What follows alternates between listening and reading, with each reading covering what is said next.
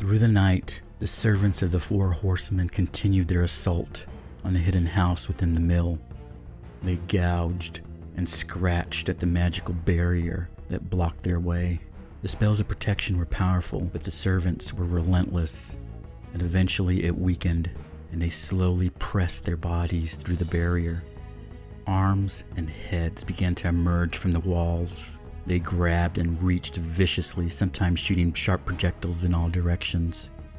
Jagged branches of light cut through the air from Marissa's wand. It severed heads, limbs, and appendages from her attackers. Buddy was perched above high and concentrated on his task. It was hard work, but he was still a deadly foe and did not neglect the fight below. He kept watch over the woman carefully, and if danger arose, he would leap down, grab the approaching monster by the head, and with a quick snap, break its neck. Marissa feverishly expelled the invaders and worked to patch the holes in the invisible mystical barrier, but it was apparent it was a losing battle. She yelled over her shoulder, Buddy, we need to leave, now! Buddy let out a barrage of frustrated laughs and giggles. Tabitha translated. He says the two mystics are too powerful. They keep blocking him from every direction. An idea came to Marissa and she said, Well, then I think I need to have a word with them. Marissa ran full speed toward the front of the house. Tabitha's short and lethal bolts cut through anything that threatened her mother. As Marissa approached the wall, an opening manifested. With a flick of her wrist, her dagger elongated into a bow. She dropped to her knees and slid to a stop. Marissa brought up her hand to the bowstring of light that emerged and pulled back hard and released two glowing arrows. They streaked across the dark sky with speed and precision. The two priests were knocked off their feet as each arrow penetrated their skull with a mighty force fueled by a mother's desperation and love.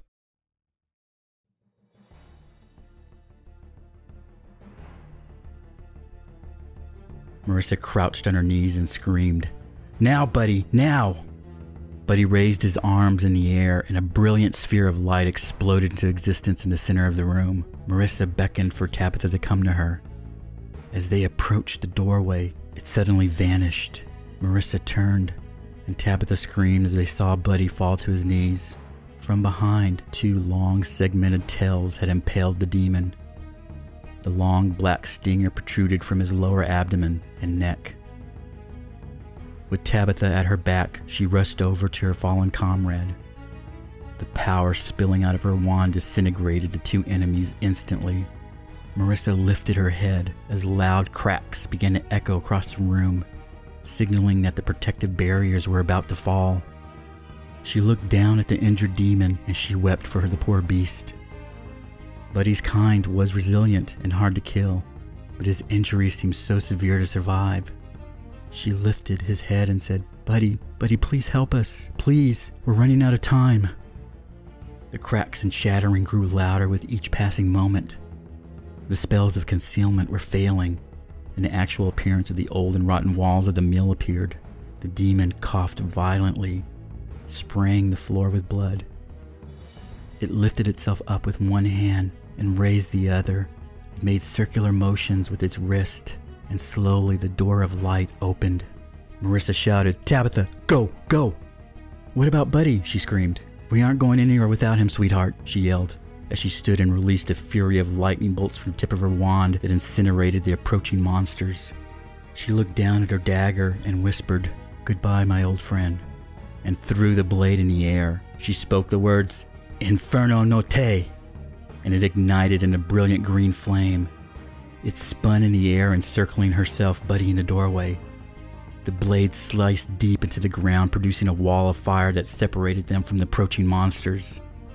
Marissa looked all around her at the faces barely visible through the wall of flames separating her from the horde of nightmares spitting and thrashing on the other side.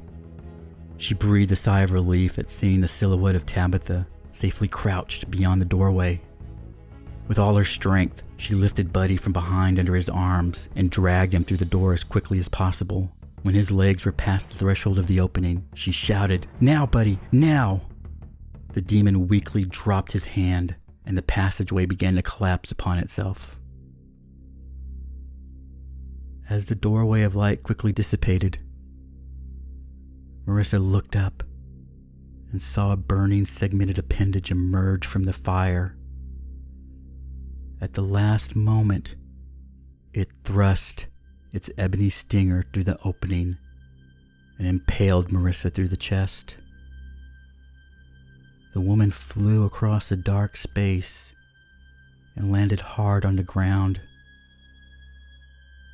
She laid there motionless, with eyes open, staring into the darkness.